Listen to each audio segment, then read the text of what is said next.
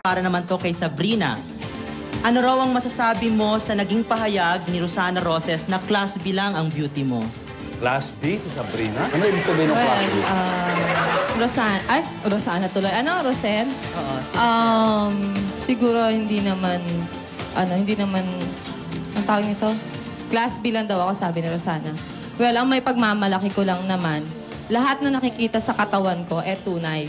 Wala akong, walang thank you, doctor. Kumbaga, God-given lahat, yun lang ang may pagmamalaki ko. At mas ba, bata ako at sariwa. Yun lang. Oo, di ba? Nako, sariwang-sariwa si Sabrina M. Natuturo